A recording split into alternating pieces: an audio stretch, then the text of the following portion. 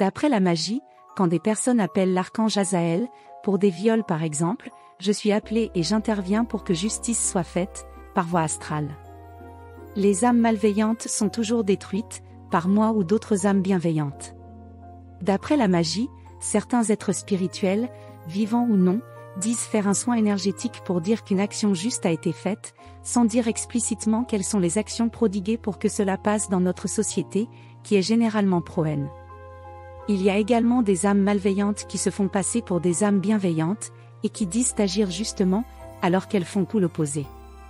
Dans mon ancien réseau énergétique, avant de faire des soins sur moi pour supprimer des ensorcellements, certains mages noirs, qui se prétendaient blancs, oui, de peau pour certains, mais c'est tout, appelaient des archanges, dont Azaël, alors qu'ils prenaient l'ensorcellement de femmes et faisaient en sorte que des hommes malveillants puissent ainsi les violer, se marier avec elles, etc. Beaucoup appelaient cela sort d'amour, alors qu'il s'agissait de haine évidemment.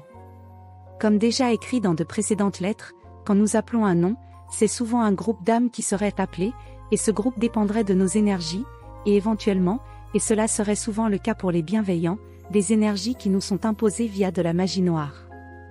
Par exemple, ayant le mauvais œil quand j'étais enfant et adolescente, si je priais Dieu pour que les bienveillants aient une belle vie et que les pédophiles soient punis, c'est l'opposé qui se produisait. Ma famille natale en est un bon exemple. J'agis beaucoup plus qu'il y a peu, via le monde astral, selon la magie.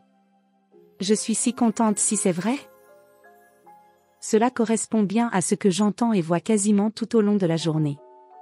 Je vaque à mes occupations, perçois des attaques sur des femmes et animaux généralement, mon subconscient agit selon la magie, et cette dernière me montre ou me dit ce que j'ai fait.